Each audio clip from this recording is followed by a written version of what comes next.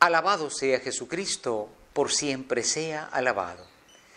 Un saludo para ustedes con toda estima, con toda alegría, de su servidor, Monseñor Víctor Hugo Palma, obispo de Escuintla. En este, pues, decimocuarto domingo del tiempo ordinario, cuando la palabra de Dios, en continuidad con todos estos domingos, nos da un mensaje muy importante. Es un mensaje de vivir la misericordia, vivir la bondad de Dios y al mismo tiempo anunciar esa bondad de Dios. Hace mucho tiempo una persona me decía que después de un retiro eh, su vida había cambiado por un detalle que parecía pequeño, pero que sin embargo es importantísimo, descubrir que Dios, nuestro Dios, es el Dios de la misericordia. Y a todo el año pasado lo estuvimos insistiendo. Hoy se nos dice que este Dios de misericordia es el Dios que hay que vivir en nuestra experiencia personal y hay que llevarlo.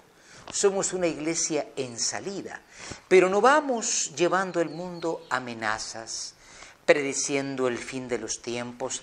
Esto se da en las sectas fundamentalistas, evangelísticas, es una pena. Yo he visto personas que están en el hospital y llega uno de estos señores y le dice, si usted no acepta a Jesucristo se va a morir y se va a morir su familia. Bueno, esto no es el Dios de la misericordia, es el Dios del castigo, el Dios que espera destruirnos. Por eso se nos dice hoy, a través del profeta Zacarías, Dios es aquel que rompe el arco de la guerra y anuncia la paz. Los arcos de la guerra pues eran aquellas armas, ¿verdad? Hoy ya ni las conocemos, pero Dios rompe el arco de la guerra. Alégrate, hija de Sión, porque el Señor viene a ti a darte la paz. Eso es importantísimo. Por eso el Salmo tiene una antífona muy hermosa que dice, acuérdate, Señor, de tu misericordia. A veces pensamos que Dios tiene mala memoria de las cosas de los malos. ¿Por qué Dios no castiga a este? ¿Por qué Dios no acaba con este? Dios no tiene memoria, dice. ¿Cómo es que este le va bien y bueno, pues es malo? Acuérdate, Señor, de tu misericordia. Nosotros somos los que muchas veces, si recordamos solamente lo malo, recordamos lo que tenemos que cobrarle al prójimo. Y es en el Evangelio cuando Jesús nos da esta frase tan maravillosa. Hemos terminado el mes pasado, el mes del Sagrado Corazón, y Jesús con este corazón lleno de amor dice, vengan a mí los que están fatigados y sobrecargados.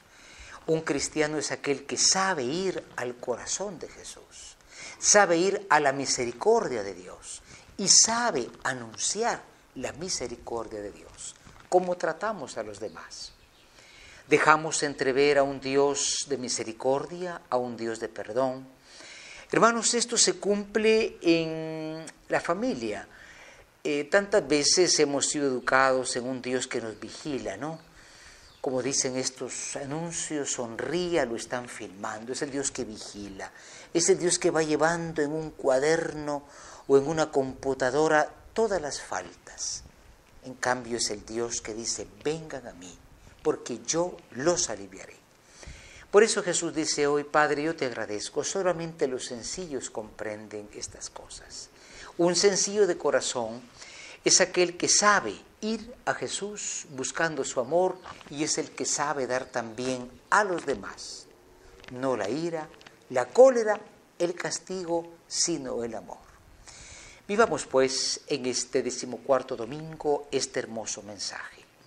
Recibamos la misericordia de Dios y anunciemos la misericordia de Dios para que el mundo que necesita más que castigos y destrucción encuentre la buena nueva de la paz y de la vida.